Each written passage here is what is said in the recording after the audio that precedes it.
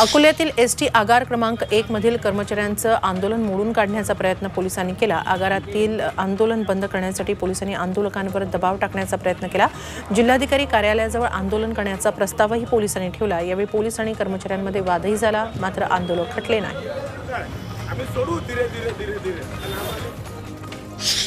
मुंबईतील प्रमुख तीन नद्यांपैकी एक दहिसर नदी पुनरुज्जीवनकरण प्रकल्प मु- कार्यक्रम मुंबई महानगरपालिकेनं हाती घेतला आहे त्या प्रकल्पाचं भूमिपूजन पर्यावरण मंत्री आदित्य ठाकरेंच्या हस्ते झालं. तेरा किलोमीटर लांबीच्या या नदी काठावरची अतिक्रमणं घनकचरा आणि सांडपाणी प्रवाह यामुळे नदी प्रदूषित झाली आहे ही नदी स्वच्छ करण्याची मोहीम हाती घेण्यात आली आहे. नालासोपऱ्यात रेल्वे कॉरिडॉरच्या जागेवर अतिक्रमण केलेली शेकडो अनधिकृत घरं तोडण्यात आली. दोन हजार बारापासून या जागी मालगाडी कॉरिडॉर प्रकल्प प्रलंबित आहे. मात्र नऊ वर्षात या जागेवर अनधिकृत चाळी गाळे बांधले गेले. दोन वर्षांपासून इथल्या रहिवाशांना मोबदला देऊन घरं रिकामी करण्याच्या नोटिसा देण्यात आल्या होत्या. त्यानंतर ही कारवाई करण्यात आली. शिर्डी नगरपंचायत निवडणुकीत ट्विस्ट आलाय. शिर्डी नगरपंचायतची नगरपरिषद व्हावी यासाठी शिर्डी ग्रामस्थांनी नगरपंचायत निवडणुकीवर बहिष्कार टाकला होता. त्यामुळे गेल्या सात दिवसात एकही उमेदवारी अर्ज भरला गेला नाही. मात्र मंगळवारी उमेदवारी अर्ज भरण्याच्या शेवटच्या दिवशी दोन अपक्ष उमेदवारांनी अर्ज दाखल केले. त्यामुळे शिर्डीतल्या एकजुटीला छेद गेल्याचं दिसून आलं. गडचिरोली जिल्ह्यात पीएलजीए नक्षल सप्ताहाचा निषेध म्हणून एटापल्ली शहरात शांतता रॅली निघाली. या रॅलीत भगवंतराव महाविद्यालय आणि माध्यमिक आश्रमशाळेचे तीनशे विद्यार्थी आणि स्थानिक व्यापारी नागरिक सहभागी झाले. विद्यार्थ्यांनी काळ्या फिती लावून नक्षलवादी विचारसरणीचा निषेध केला.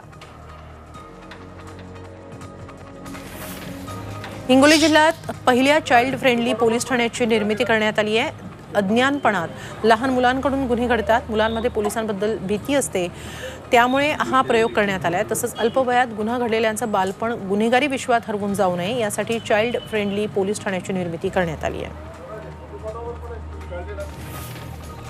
अकोल्यामध्ये वाहतुकीचे नियम मोडणाऱ्यांवर वाहतूक शाखेनं ई चलानद्वारे कारवाई केली. तर जानेवारी दोन हजार एकवीसपासून दंडाची रक्कम न भरलेल्या चौऱ्याण्णव हजार वाहन चालकांवर खटले दाखल होणार आहेत. शेवटची संधी म्हणून दंड थकवलेल्या वाहनधारकांना अकरा डिसेंबरला लोक अदालतीमध्ये ई चलानचा भरणा करता येणार आहे. अथवा कोणत्याही वाहतूक शाखेत दहा डिसेंबरपूर्वी दंड भरण्याची मुभाही देण्यात आली आहे.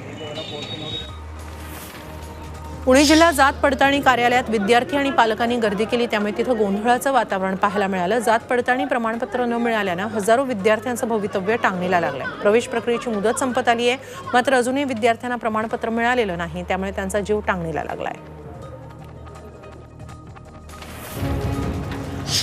बातमी आहे चिमुकल्या मावळ्यांच्या करामतीचे तीन चिमुकल्यांनी मलंगगड अवघ्या साडेतीन तासात सर केला. सह्याद्री रॉक ॲडव्हेंचर गिर्यारोहकांच्या मदतीनं त्यांनी ही कामगिरी केली.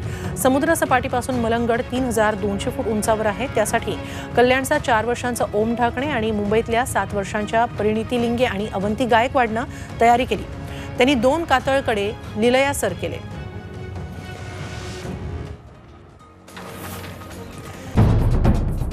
सह्याद्रीची उंची. म्हणजे